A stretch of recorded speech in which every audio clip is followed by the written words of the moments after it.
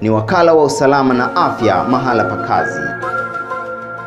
mahusiano ya mfanyakazi na mwajiri ambayo kwenye pero sheria inahusika, lakini vile tukaangalia subsidiary legislation zake ambazo kwa mfano sasa hivi ziko sita ambazo ziko approved na moja ambayo inahusika na tunaita general rules, ambayo hiyo ndio ile ambayo ina stipulate eh, fines ambazo wafanyakazi wanapokuwa wajiri wanakuwa fine na stipulate fees mbalimbali ambazo zinalipwa. Kwa mfano training iko kule ndani na stipulate eh, vitu kama ukienda kufanya industrial hygiene how do you do it na how much hiyo mfanyakazi na majira anatakiwa kulipa.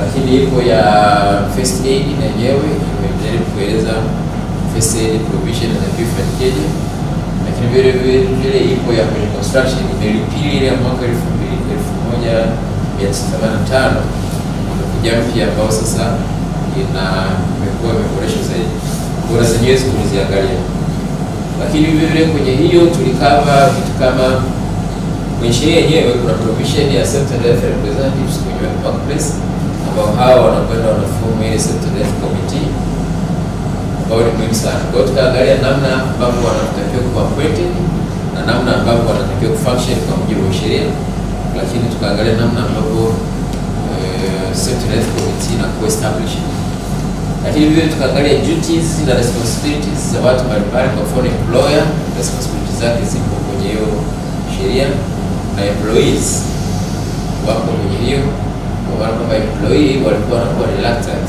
kwamba mtu ambaye anatakiwa kuwa punished ni yule employer, lakini na mfanyakazi naye amepewa responsibility na akishindwa kuzitekeleza anaweza akashtakiwa na akapelekwa mahakamani lakini vile vimetouch self employed persons, mtu ambaye anajiajiri mwenyewe na yenyewe namna ambavyo usalama wake unatakiwa kuangaliwa imetajwa kwenye sheria.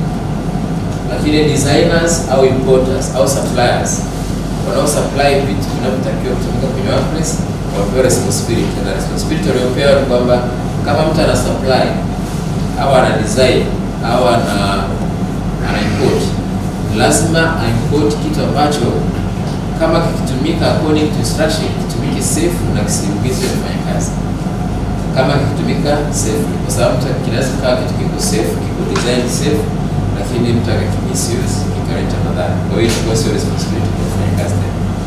Lakini tukaangalia victim- victim- victimization forbidden, kwa maana kwamba kwa maana hii victimization ina maana kwamba either kufukuzwa kazi au kupunguziwa mshahara au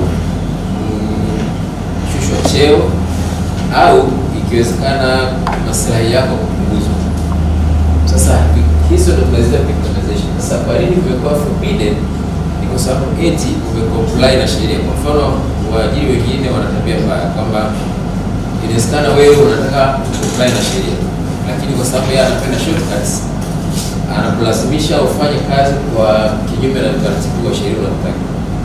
Kwa hiyo hii ukifanya na mwajiri akakusema anakuvictimize aidha kwa kufukuza kazi au kwa kupunguza mshahara, sheria hii imeruhusu.